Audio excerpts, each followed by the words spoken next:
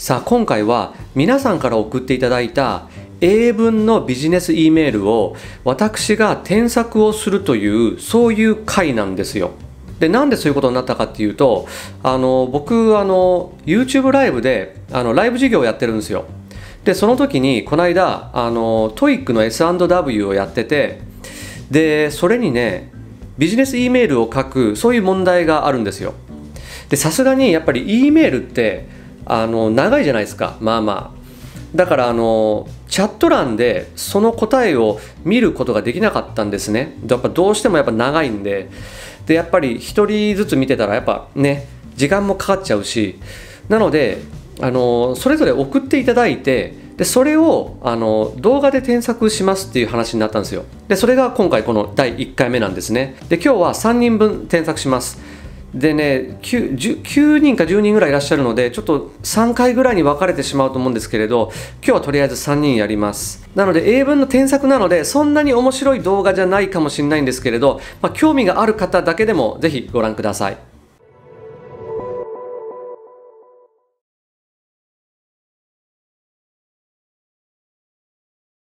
はいではお一人目。ニックネーム竹なんとかさん。え男性で40代の方ですね。そして、まあ、留学経験はなしと。OK。さあ行きましょう。クリス・フェルガソン。おっと、いきなりか。これちょっとやっぱり呼び呼び捨てしない方がいいですね。呼び捨てしない方がいいので、まあ、ここは、まあ、Dear、D、あフルネームだったらミスターかな。やっぱちょっと呼び捨てはまずいですね。ここまあ継承を入れてミスターを入れましょう。Mr. Chris Ferguson。これだけでいいです。で、まあここはコンマにして、えー、Thank you for your mail. あ、まあいいですね、これね。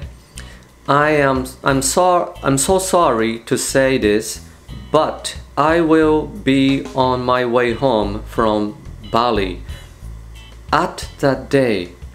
なるほど。えー、っと、め ちょっとごめんなさい。こういうのは申し訳ないんですけれどでもすいませんけど I will be on my way from home from Bali. なるほど。バリからちょうど帰ってきてる時だと。でその日はって言いたいんですよねこれ多分。なのでこれね at the day じゃなくてねこれうーん on that day がいいかな。でまあ on はまあなくてもいいんですけれど、まあ、on、明示的にね、つけた方がいいですね。だから、えっ、ー、と、on that day、その日は私は、まあ、ちょうどね、帰ってきてる時だから、えー、参加できないってことなんですよね。で、if you could, please reschedule it to December 23rd と。えっ、ー、と、もしできたらってことかな ?if you could。もしできたら、please reschedule。えー、っと、12月の23日に、えー、リスケジュールしてくださいってことかな？うん、いいと思います。で、yours sincerely 竹なんとかと。はい、いいと思います。ただ、えー、っと、これ、ビジネスメールとしてはいいんですけれど、さっきの条件、問題と、あと、提案っていう、この提案の部分が抜けてるかなと思うんですね。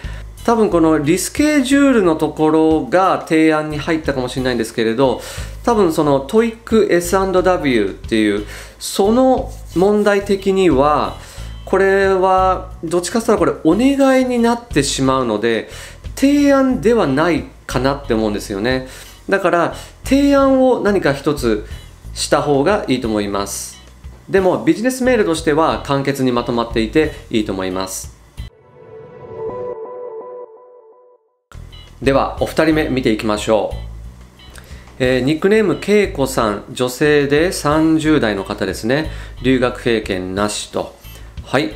では行きましょう。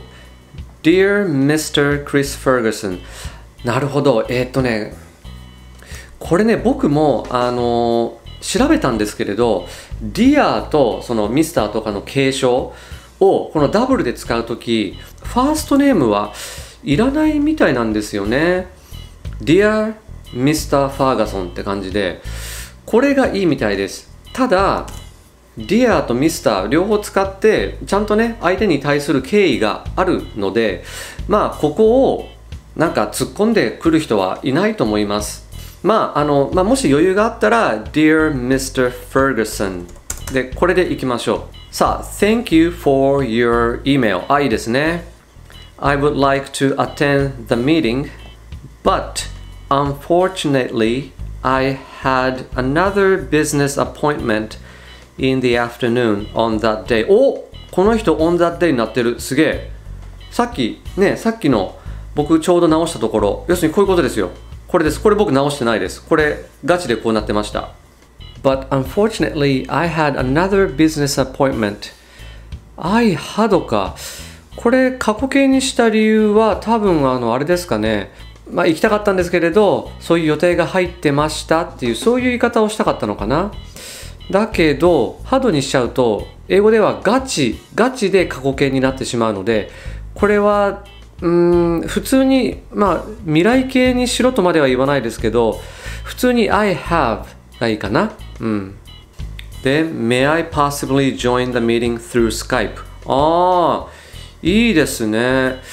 でもこれも提案か、まあそっか、提案としてはこれでいいのかな。これもどっちかって言ったら質問もしくはお願いに当たってしまうと思うんですよね。だから提案というあの TOEIC の S&W 的にはちょっと足らないかなと思うんですけれど文法的にはもう全く間違いがなくって素晴らしい E メールだと思います。で最後も Best regards ねで Keiko っつってうんこれもめちゃくちゃいいしなのでメール的にはこれ100点ですわ。でもその TOEIC 問題としてはちょっとその提案というところでちょっと足らないかなっていう感じですね。でもすごくいいです。さあそれでは3人目見ていきましょう。ニックネーム V え？BV 読めない。えっ、ー、とニックネームはいいとして性別男性で、えー年齢は30代留学経験はなしとはい、じゃあ読んでいきましょう。Dear Chris Ferguson。ああ、いいですね。これで全然いいと思います。I appreciate your informing me of the party. あー、なるほど。ちょっとね、これ皆さんにも知っておいてほしいことがあるんですけれど、あの、Thank you ってあるじゃないですか。あかんあかん。Thank you ってあるじゃないですか。Thank you って、要するにこれ、あの、ま、最初に愛が隠れてるんですよ。I thank you って言って、本当は愛が隠れてるんですね。なので、まあ、thank っていうのはその appreciate と同じ意味があります。そんな感じでよくだから thank you っていう時に for を使いますよね。だからこれと一緒にした方がいいと思います。だから I appreciate you って言って for informing me of the party ね。で、unfortunately I can これちょっと詰めた方がいいですね。じゃあこっちも詰めときましょうか。え Unfortunately, I cannot attend the meeting due to my other job. それ言っちゃっていいの？それ。ちょちょっとあの副業でって。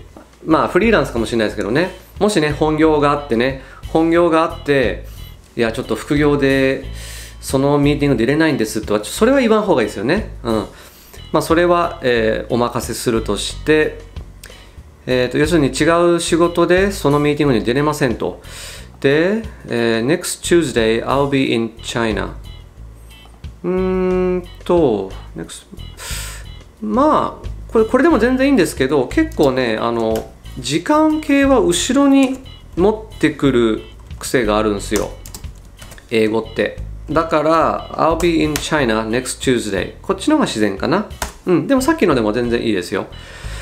で、I wonder if all staffs ああ、なるほど。まず、このスタッフ、スタッフって、スタッフのあれじゃないんですけど、ああれか、そう、あのスタッフなんですけど、英語では、その、スタッフズみたいな複数形にしないみたいなんですよ。要するにスタッフっていう、あの、ピープルってあるじゃないですか。人々っていう、ピープルズってしないじゃないですか。そんな感じで、スタッフもそんな意味があるんですよね。だから、ここね、オールスタッフでいいと思います。まあ、発音的にはスタッフって感じで、スタッフ。ね、スタッフってあの、物のスタッフとスタッフって人のスタッフってちょっとね、発音が似てるんですけど。で、だから、I wonder if all staff could attend the meeting. ああ、なるほど。要するに、ミーティング、全員がミーティングに参加できるでしょうかってことですよね。I wonder ってことで。This is, this is a disturbing problem. disturbing. あ厄介な問題だと。うん、OK, OK, OK. で、I have one solution for it. そうそうそう、これ。これを待ってた。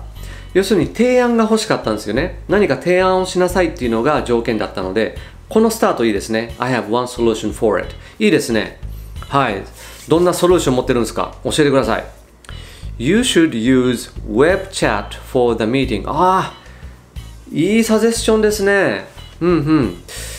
えー、っと、要するにみんな参加できるかわかんないから、そのウェブチャットを使いましょうと。まあいいっすね、いいっすね。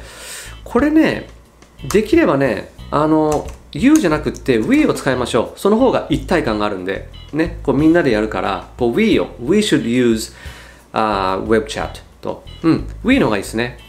で、Since I know that our colleagues are so busy and cannot be in the building next Tuesday, web chat would be greatly helpful. ああ、素晴らしい。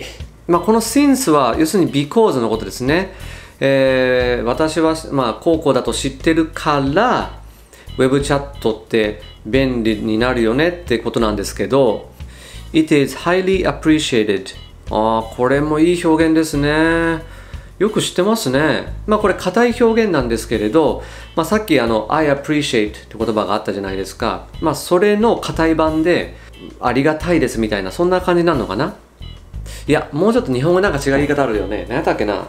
こうこうこうだと嬉しいです。違う違う違う。こうこうこうだと幸いですだ。そうそう、そういうふうに硬い感じの時に使いますね。It is highly appreciated って。まあでも別に普通に I appreciate if とか I appreciate でも全然 OK です。えっ、ー、と、if you could utilize web chat system なるほどね。うん。このウェブウェブチャットシステムを使ってくれたら、えっ、ー、と、幸いです。みたいな感じかな。うん。で、最後に Sincerely yours, Ken Tanaka. Alright. Good business letter. はい、そんなわけで今回は3人の方のビジネス英文メールをこうまあ見させていただいたんですけれど、まだあとね、えっ、ー、と、6人ぐらいいらっしゃるので、また順次ちょっと動画にしていきたいと思ってるんですが、まあ当然ですけれど、英語にもいろんな表現があるので、あの、あんまり細かいところを、こう、要するに、重箱の隅をね、つっつく感じなことはしたくないと思ってます。あの、まず僕認めてるのは、こうやって添削してくれって言って、僕みたいなやつに添削してくれって言ってこうメールを送ってくれるだけでも僕は結構認めてるんですよね。